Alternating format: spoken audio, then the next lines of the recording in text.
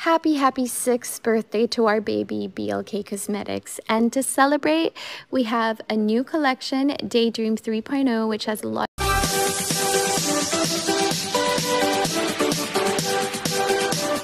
Hello and welcome back sa aking channel. Ann Curtis ipinagdiwang ang ika-anim na anibersaryo ng kanyang negosyo kasama si Dalia Amelie. Sa kanyang Instagram, nagbahagi ito ng video kung saan masaya niya itong ipinagdiwang. Pansin pa nga na may hawak itong cake bilang pagdiwang sa ika-anim na anibersaryo ng negosyo.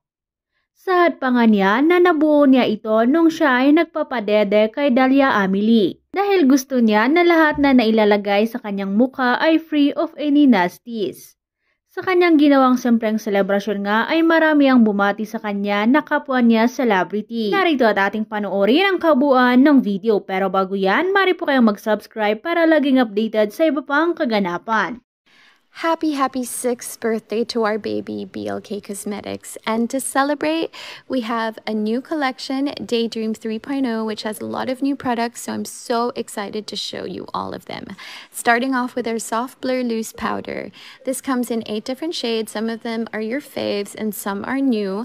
I love this because it instantly blurs pores, can absorb excess oil, and leaves a soft matte finish. Next up, we have the four tip microblade pen, hair like strokes. I mean, Kila is life, right? And then my faves, the glow and matte cushion ones. Now be very careful with these. Don't squeeze too much because it will leak. And besides, a little goes a long way anyway. So we have four shades. We have three highlighters and one matte, which is our contour. As you can see, this is your fave, Coco. Contour is life.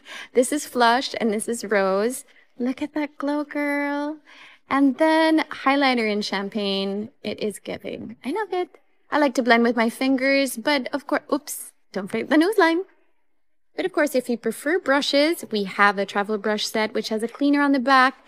Blend it all in. I'm very happy with my look and products. Happy birthday, BLK. And thank you, BLK lovers.